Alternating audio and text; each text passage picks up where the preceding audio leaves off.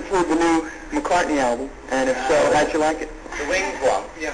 I quite enjoy some of it. Yeah. You know, I think it's. Uh, I know it's very hard to, you know. Uh, How listen did you to your like it? friend. How did you like it? Not much. Some of it, though, I thought it was getting better. Some of it wasn't as good, and some was better. I think he's going in the right direction. You think he's getting it back? Think he's getting it back? I think he has to. He's, he's got it there somewhere. Against the wall right there. On your Imagine album, why did you write How Do You Sleep?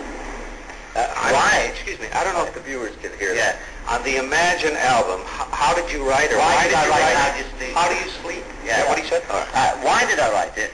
Well, I don't have a reason for writing. It's a beautiful song. It's a, it's a good song, like uh, the Elephant's Memory Group was playing with me. He said, we must do it. And I said, we can't do it because they all only think of it as being in reference to Paul, Well, we think of it as a good guitar solo.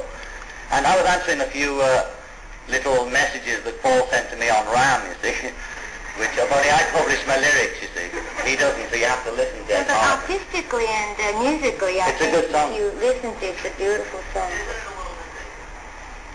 A little what? Vindictive. Vindictive. Well, it's a, it's an answer, you know.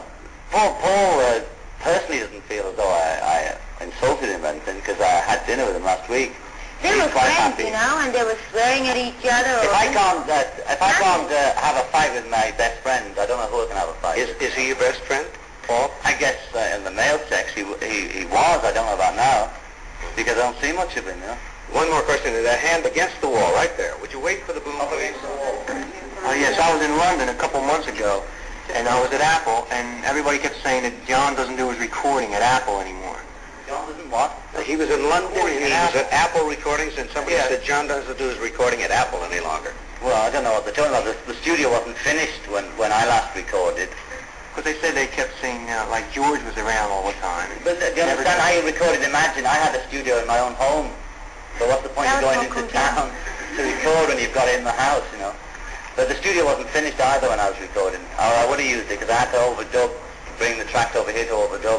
Do you plan to do future recordings at the... If I was in London, I might use it, you know? Well, But I in New prefer to build my own studio, you know? Okay. We have to pause for these messages. We'll be right back. I wrote a sort of Son of How Do You Sleep on, on Walls and Bridges. Uh, I can't remember the name, Steel and Glass, which I thought was about a few people, but then I'm realizing, no, it's me again. So it's not about Paul, it's about me, you know, I'm really attacking myself. But I regret the association, but I, what a regret, you know, I mean, he, he lived through it. The real, the only thing that matters is how he and I feel about those Yeah, things, yeah. and not what about, you know, the, the writer or the commentator thinks about it. You know, him and me are okay.